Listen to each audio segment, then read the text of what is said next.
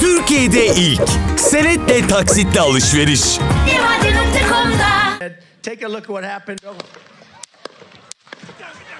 Eski ABD Başkanı Donald Trump suikaste uğradı. O anların fotoğrafı tişörte basılıp satışa sunuldu. Çinli e-ticaret platformları tarafından yapılan bu hamle eleştirilere neden oldu.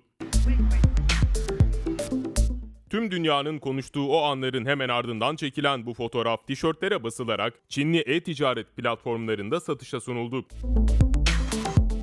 Yaklaşık 10 dolara sunulan tişörtler kısa süre içinde binlerce sattı. Saldırıdan yalnızca birkaç saat sonra satışa sunulan tişörtlerin kısa süre sonra e-ticaret sayfalarından kaldırıldığı görüldü.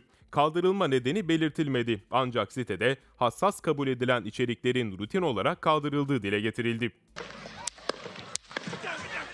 Benzer tişörtlerin Güneydoğu Asya'da popüler e-ticaret platformlarında da satışa sunulduğu belirlendi. İnternetteki fotoğraflar Amerika Birleşik Devletleri'nde de benzer tişörtlerin satışta olduğunu gösterdi. Bazılarının üzerinde liderler asla ölmez yazarken bazılarında ise kurşun geçirmez yazısı yer alıyor.